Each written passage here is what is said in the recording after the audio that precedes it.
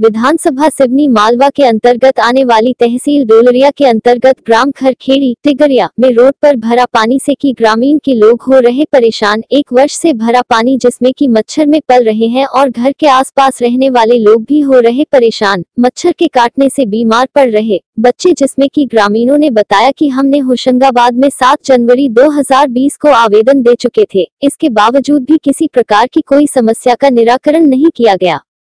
जिससे हम लोगों को इसी पानी में से आना जाना करना पड़ रहा है। हम अगर पानी के लिए भी कहीं जाए तो इसी की चाह में से जाना पड़ता है। हमारे छोटे छोटे बच्चे कई बार इसमें गिर गए हैं। पानी के भराव कारण यहाँ मच्छर पल रहे हैं।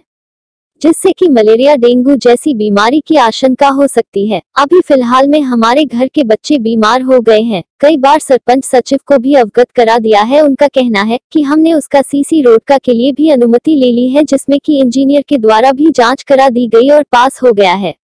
बस कुछ दिन रुको रोड बन जाएगा ऐसा कहकर टाल देते हैं। विगत एक वर्ष बीत गए इसी बात को सुनते सुनते ग्रामीणों को ग्राम टिगरिया निवासी भाई द्वारा बताया गया कि विगत वर्ष एक वर्ष से हम लोग परेशान हैं। हमने इसकी सूचना कलेक्टर तक भी दे दी अभी तक कोई निराकरण नहीं हुआ। देखिए आज की आवाज़ न्यूज़ के साथ डोलरिया से प्रवीण गौर की खास रिपोर्ट। क्या समस्या को लेकर आप परेशान हैं?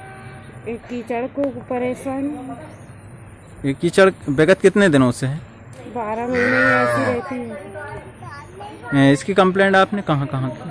कर दी होशंगाबाद में सचिव सरपंच से। सरपंच सचिव क्या कहते हैं इसके बारे में? बनेगा। बनेगा बोलते हैं। आपका नाम क्या? है निम्मा के बाद। कहाँ के निवासी हो? टिघरिया। जी क्या समस्या है आपकी? सर हमारी समय से जाइए बच्चे छोटे छोटे निकलने की परेशानी पानी भरो रे वे गंदगी से मोड़ा मोड़ी बीमार हो जावे। अच्छा इसकी कंप्लेंट आपने कहाँ कहाँ की? सचिव सरपंच से बोली हमने हमारी कोई सुनाई नहीं है। होशंगाबाद भी है वहाँ भी कोई सुनाई नहीं। होशंगाबाद में आपने कहाँ पे कंप्लेंट की थी? ऑफ़िस गए थे हम?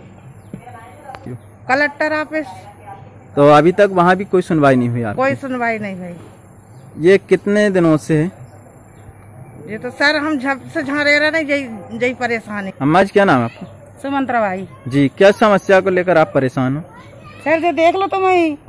जई स्थिति है जो गड्ढा में पानी ले लेके आ रहा है मोड़ा मोड़ी है स्कूल जा रहा है तो ऐसी आफत पड़ रही। जा ही नहीं रहा स्कूल। इसके लिए कहाँ तक कंप्लेंट की आपने? Collector office. और सरपंच सचिव? उनसे भी बोली वे कोई सुनाई नहीं करे। वो क्या बोलते जब तुम सूचना लेके जाते हैं उनके पास? तो? हाँ हाँ करे और बस। सर आपका नाम? आदेश गौर। जी कहाँ के निवासी हो? टिगरिया के निवासी हैं। जी क्या समस्या को लेकर आप परेशान हमारी समस्या जो है पानी भरा रहता है घर के सामने पूरी रोड पे यहाँ से वहाँ तक पानी भरा रहता है और ये एक एक दिन की बात नहीं है ये बारह ही महीने एक से काम है। छोटे छोटे बच्चे हैं अभी तो स्कूल भी बंद है आंगनबाड़ी आंगनबाड़ी जाने में स्कूल जाने में बड़ी परेशानी होती है। एक जन छोड़ के आता है उधर तक जब बच्चे जाते हैं स्कूल और मच्छर पल रहा है दुनिया भर के सरपंच सचिव मैडम से भी बात करी है तो हाव हाव बोल देते हैं पर काम कुछ नहीं होता। इसकी कंप्लेंट आपने कहाँ कहाँ की? हम एक बार मोहल्ले की दस भाई हैं एक साथ करके और कलेक्टर ऑफ़िस भी गए थे वहाँ भी हमने लिख के दिया था। बोला गया हमको संतुष्टि दी थी कि आपका काम हो जाएगा पर अभी भी जो समस्या है पूरे पूरे एक साल हो और बच्चे छोटे छोटे हैं मच्छरों के कारण बच्चे भी बीमार पड़ रहे हैं कोरोना काल में।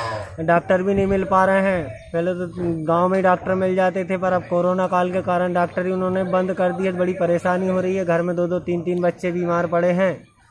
और अगर ये निकासीकरण हो जाए तो मच्छरों से निजात पा जाएँ।